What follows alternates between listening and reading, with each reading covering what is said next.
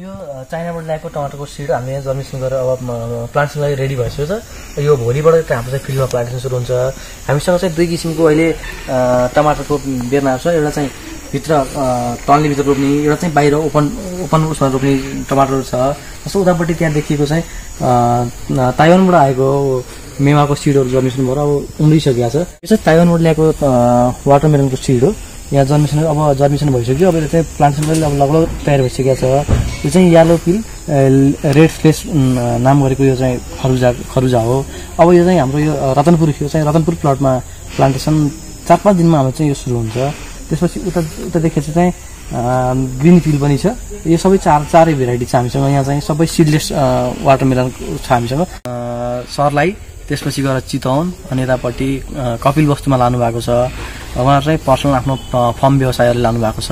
र यहाँबाट चाहिँ लोकल स्तरमा पनि केही मात्रामा ट्रायलको लागि चाहिँ यो ताइवानी वा वाटरमेलनको सिडहरू लानु भएको छ पैँतालिसजना चाहिँ पचास रुपियाँ रोजगार रोजगारमा हामीले यो कम्पनीले दिएका छौँ र तिन सयभन्दा बेसीलाई चाहिँ पचास सय रुपियाँ चाहिँ यहाँबाट रोजगारीको सि- अवस्था सिर्जना छ। कोभिड जर्मनी हो। सब हामी चाहिँ हाम्रो यो फर्ममा चाहिँ सबै बायो बायो प्लान्टेकका त्यो बायो फर्टिलाइजर युज भएको छ। यो रासायनिक त्यसपछि गएर विषादी हानिकारक विषादी मानव स्वास्थ्यमा असर पर्ने किसिमको हाम्रो त्यस्तो त्यो विषादीहरू हाम्रो छैन। सबै घरेयासी जैविक मलहरू त्यसपछि बायो फर्टिलाइजर त्यसपछि गौँडले मलहरू अनि यहीँ भएका त्यो गोबरहरू काउडङहरू युटिलाइज गरेर हामी चाहिँ यो फर्टिलाइजर चाहिँ यहीँबाट हामी चाहिँ युज गरिरहेको छौँ। यो चाहिँ ताइवानबाट ल्याएको मेवाको सिडहरू यसमा जर्मिसन अब रेडी भइसकेको छ उम्रिँदैछ।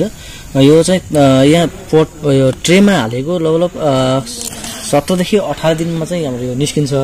अब यसमा चाहिँ हल्का छ इन्चभन्दा अग्लो भइसकेपछि यो फिल्डमा लगेर रोप्नलाई रेडी हुन्छ। यो रोपिएको प्लान्टेसन भएको तिन महिनामा यसले फ्लावरिङ दिन्छ र यो एकपटक लगाइसकेपछि तिन वर्षमा यसले चाहिँ आफ्नो प्रडक्ट दिन्छ।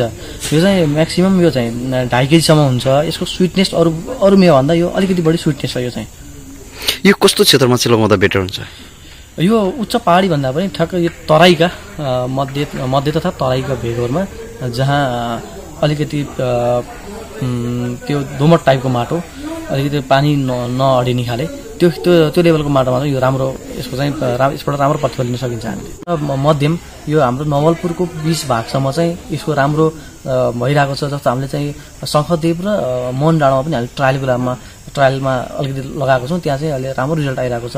जहाँसम्म लाग्छ यसले चाहिँ यो नवलपुरको मध्य पहाडी जुन भागमा यसले चाहिँ राम्रो चाहिँ प्रडक्सन दिन्छ भन्ने हामीलाई चाहिँ आकलन छ यस में कई साल बाहर रहे कनाडा से लौटे हैं, मेघराज जी, ऑस्ट्रेलिया से लौटे हैं मतलब पैसे यहाँ लगा रहे हैं तो आप लोग आगे काम कर सकते हो उसमें। जो भी सपोर्ट होगा आप लोग करेंगे, क्योंकि आगे बिज़नेस इनका भी बिज़नेस आपके ज़रिए ग्रो करना है।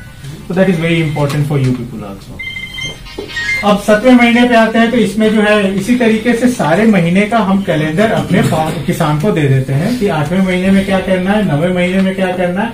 अब इसके बाद कुछ इमरजेंसी हो जाती है जिसको कंटिजेंसी कहते हैं आकस्मिक है ना?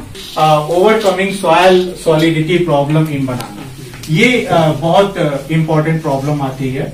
Due to salinity and sodicity of the soil banana plant में suffer from marginal that is the chlorosis and necrosis of that is the lesser chlorification ये आप समझ रहे हैं क्या चीज़ है? जो अभी uh, एक मित्र ने बोला था कि पानी की जाँच करानी पड़ेगी क्योंकि तो जैसे जैसे गर्मी बढ़ने लगती है टीडीएस बढ़ने लगता है।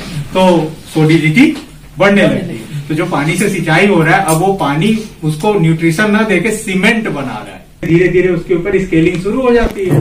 तो वही स्केलिंग जब बनाना के मिट्टी में शुरू होती है तो क्या करेगा कि बनाना को न्यूट्रिशन एब्जॉर्व करने से रोकेगा, पानी एब्जॉर्व करने से रोकेगा। तो उस चीज़ से आपको बचाने का किसान को बताना पड़ेगा और इसके लिए सबसे ज़रूरी है कि आप देखिए इसमें रिडक्शन जो है थर्टी परसेंट तक हो। Kilogram gypsum plus fifteen kilogram farm yard ये याद रखिएगा कि ये ब्रह्म, जो ब्रह्मास्त्र होता है, वो है ये।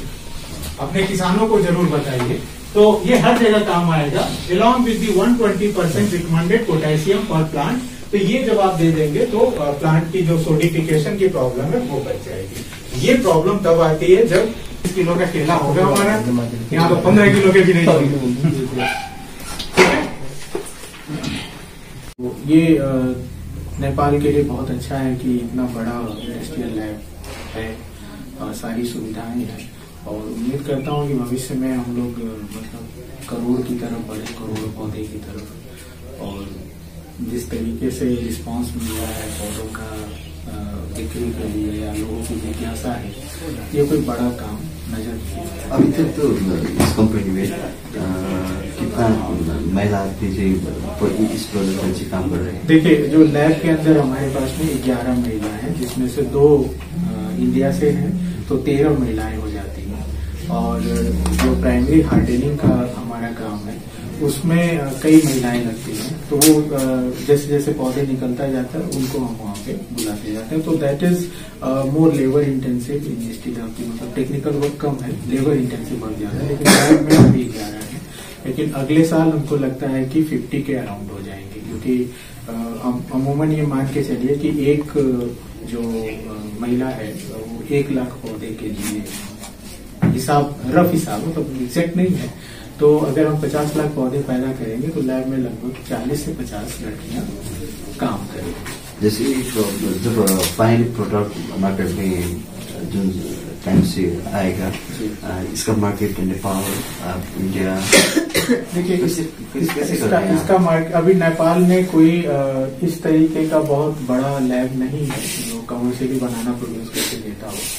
और चूँकि अभी हमारे पास में जो रिक्वायरमेंट है, हम फुलफिल नहीं कर पा रहे हैं। जो बनाना की रिक्वायरमेंट अभी नेपाल की है, वो फुलफिल नहीं हो पा रही है। तो निसंदेह मतलब हम लोग की कोशिश है कि ज़्यादा से ज़्यादा बनाना पैदा किया जाए।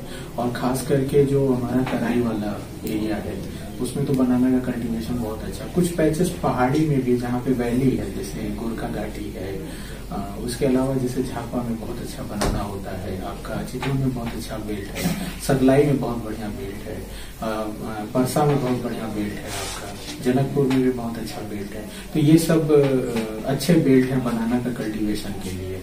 और इनके पास में जो बनाना है उसकी गुणवत्ता सुनिश्चित करा के और हम लोग मतलब कम दाम में, चूँकि नेपाल में ही प्रोड्यूस हो रहा है तो कम दाम में किसानों को सही बनाना और पूरी ट्रेनिंग यहाँ से मिल जाएगी। तो चूँकि मॉडल ऐसा है कि पौधा तो पैदा कर ही रहे हैं, लेकिन जो एसोसिएट नर्सरियाँ हमारे साथ में नर्सरी जुड़ेंगे, उनको भी हम पूरा सपोर्ट देंगे। लिटरेचर का साइंटिफिक सपोर्ट डिज़ीज़ वगैरह कोई दिक्कत होती है तो हम टाई अप कर रहे हैं मतलब ऑल यूनिवर्सिटीज और कॉलेजेस से, कि अगर किसानों को कोई दिक्कत होती है तो उनको तुरंत मदद पहुं- पहुँचा दी जाए। किसानों को पहले इन्फॉर्म कर दिया जाए। जैसे लिस्ट हमारे पास रहती है कि इतने किसानों ने केला लगाया है। तो अगर कोई समस्या आने वाली है, मौसम कोई बहुत बड़ा चेंज हो रहा है।